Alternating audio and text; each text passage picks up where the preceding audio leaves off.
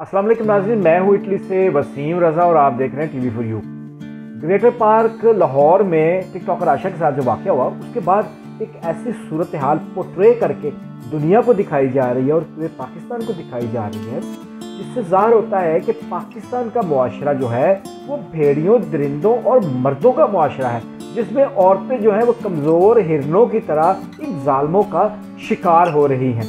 अच्छा एक वाक़ और वायरल हुआ है आयशा वाले वाक्य के फौरी बाद और उस वीडियो में ये दिखाया गया है, सोशल मीडिया पर यह वीडियो पहले मुख्तलिफ़ पेजेस पर चलती रही और इससे ये भी ज़ाहिर हुआ है, देखने वालों ने इसका तफसीत मालूम करने के बाद बताया कि ये वीडियो डिलीट कर दी गई थी, लेकिन कुछ चीज़ पेजेस पर ये चलती रही, जिसके बाद ये वीडियो वायरल हो गई। तो पाकिस्तान को बदनाम किया जा रहा है, लाहौर को बदनाम किया जा रहा है और मर्दों को बदनाम कर, करने की ये जो मजमूम साजिश है इसमें बताया गया कि ये जो वाक्य है आयशा वाला, टिकटॉकर वाला, ये उस दिन एक वाक्य नहीं हुआ था बल्कि दो वाक्य होते हैं। हालाँकि ये हकीकत नहीं है।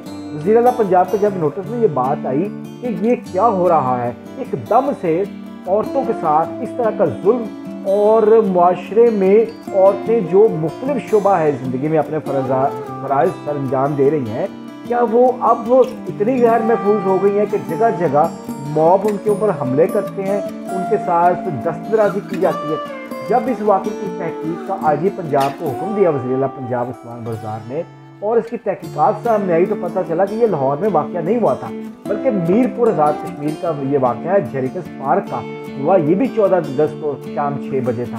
और हसनैन नामी लड़के ने ये एक वीडियो बना के उसको अपलोड किया था, जब और जब उसके बाद उस वीडियो के ऊपर बहुत ज़्यादा रद्दमल सामने आया तो उसने उस वीडियो को डिलीट कर दिया, लेकिन वो चलती रही मुख्तलिफ़ पेजेस के ऊपर, जिसके नतीजे में वो वायरल हो गई। अच्छा ये वाक्य आज़ाद का हुआ, ये चौदह अगस्त को ही। लेकिन ये दो फैमिली का आपस में झगड़े का मामला था। ये किसी मॉब ने उस लड़की पर हमला नहीं किया था तशद नहीं किया था, जो लड़की इस वीडियो के अंदर, बाद लोग उसको तशद का निशाना बना रहे हैं और वो भी सिलसिले में उस मौके पर मजामत भी कर रही है। दो फैमिलियों का आपस में झगड़े पर मैं इससे पहले भी इसकी वजाहत कर चुका हूँ। तो अब आप आ जाएँ कि पाकिस्तान के साथ लाहौर के ज़िंदा दलाने लाहौर को इस तरह से बदनाम करने की क्या ज़रूरत है? अगर ये वाक़ पाकिस्तान के किसी और इलाके में भी पेश आया होता तो क्या उस इलाके में अचानक से औरतों के साथ इस तरह के वाक़ तसलसल से पेश आना और फिर उनको मुख्तलिफ़ सोशल मीडिया के प्लेटफॉर्म्स के ऊपर लाकर उसका प्रोपागंडा करके पाकिस्तानी माशरे को बदनाम करना, इसके पीछे क्या हकीकत हो सकती है?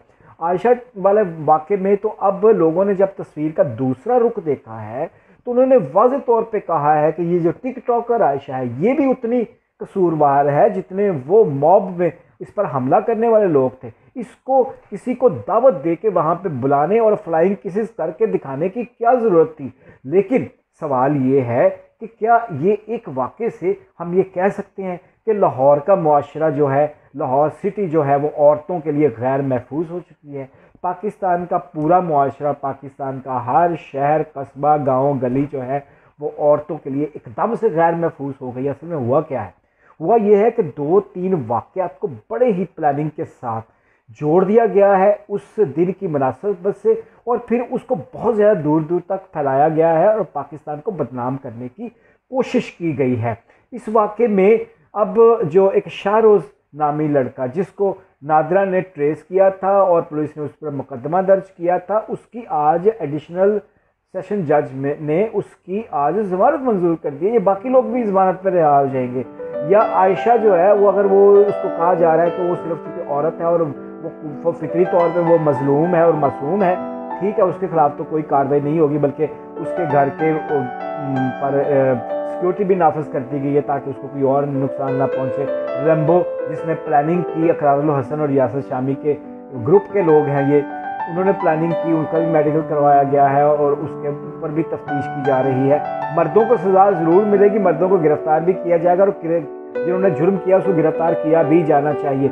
लेकिन ये औरतें जिसकी उस दिन माँ उसकी कह रही थी कि हम तो शरीफ घराने के लोग हैं, हम तो इज्जतदार लोग हैं, हमारा क्या काम है इस तरह के कामों का? इसका मतलब ये हुआ कि जो टिक टॉकिंग करती हैं और सोशल मीडिया के ऊपर घरों से इस तरह से बाहर निकलती हैं थोड़ी सी शहरत के लिए और थोड़े से पैसों के लिए डॉलर्स के लिए तो क्या वो एक ये गलत काम है? उस औरत का ये कहना था कि हमारी औरतें नहीं निकलती हैं। वो तो किसी को मुँह तक बाहर नहीं, आज का माशरा बदला, औरतों को बाहर निकलना पड़ता है, काम भी करना पड़ता है, वो सोशल मीडिया पर भी जाए, वो सब कुछ करें। लेकिन ये इसके असरात माशरे पे क्या होंगे? और अगर इसके ऊपर, इसके असरात बुरे और मनफी माशरे पे होते हैं तो क्या इस तरह की औरतों से भी पूछगिछ की जानी चाहिए या, ये, या नहीं? यही है आज का सवाल।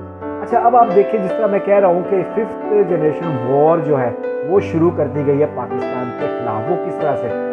तालिबान आए, अफ़गानिस्तान में और एक गोली चलाए बगैर वो आए और वहाँ पे बहुत बेहतर सूरत आ रहा है। आज कंदार के लोग नारे लगा रहे हैं तालिबान के हाथ में और कहा जा रहा है कि जिस तरह वो आए हैं और जिस तरह से उन्होंने बयान दिए हैं और कहा है कि हम औरतों के भी हकूक का ख्याल रखेंगे, बच्चों के अपने प्रोफेशन के और जुमा खान जो उसी इलाके के जिम्मेदार हैं, तालिबान के तर्जमान उन्होंने कहा है कि हमें कोई कर्ज नहीं है कि आम शहरी दाड़ियाँ रखते हैं या नहीं रखते। ये ये जो एक सॉफ्ट इमेज है इनका, वो सामने आ रहा है, लेकिन तालिबान की अफ़गानिस्तान में आमद के बाद अफ़गानिस्तान को ख़तरनाक करार दिया जा रहा है और पाकिस्तान में अचानक से ये चंद वीडियोस की बुनियाद के ऊपर, पाकिस्तानी माशरे लाहौर के माशरे दूसरे शहरों के माशरों को जैसे चिंगची पे एक लड़के ने एक बुरी हरकत की, चिंगची पे जाने वाली एक लड़की के साथ, उसको भी इस वाक्य में जम करने के बाद एक चेन बना दी गई है बदनाम करने की पाकिस्तान को।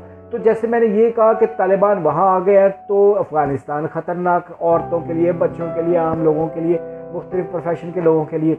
और पाकिस्तान इसलिए गैर महफूज कि यहाँ पे औरतों की इज़्ज़त जो है वो भी महफूज नहीं है। लोग उनके मॉब उनके ऊपर हमले करते हैं और छोरे नौजवान जो हैं, वो उनके दुपट्टे खींचते हैं या उनको टच करते हैं। तो इस तरह के जो दो तीन वाक़ात इन चंद दिनों में हुए हैं और उनको जिस तेज़ी से पोट्रे किया गया है, वो एक साजिश का हिस्सा भी हो सकता है। इसके बारे में भी आप ज़रूर गौर करें। आज तक के लिए इतना ही। अपना ख्याल रखिएगा। अल्लाह हाफिज़।